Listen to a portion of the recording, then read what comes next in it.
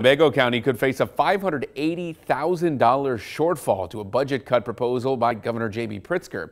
13 News reporter William Ingles tonight breaks down what that could mean for your taxes and why one Illinois lawmaker is skeptical that this proposal will even make the final budget.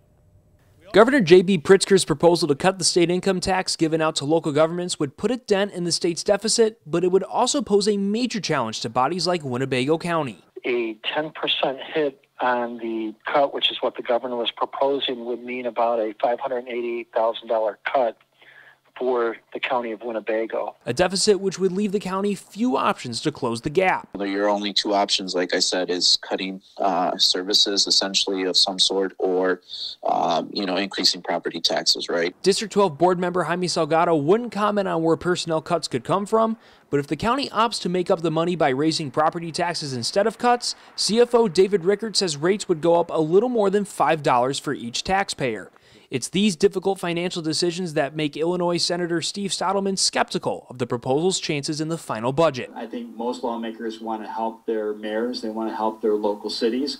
They don't want to create more financial burdens on them. So again, I think uh, this will be reviewed pretty thoroughly. I think it, it faces a difficult road ahead. But Stadelman added there's potential that the federal government could pass another COVID package that would likely take these proposals off the table. Congress is debating a, another financial relief package. And uh, it's expected that potentially Illinois could be in line for billions of dollars of additional federal aid.